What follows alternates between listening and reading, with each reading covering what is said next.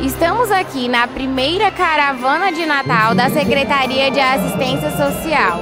O intuito dessa caravana é levar um pouco da magia do Natal para os bairros da nossa cidade.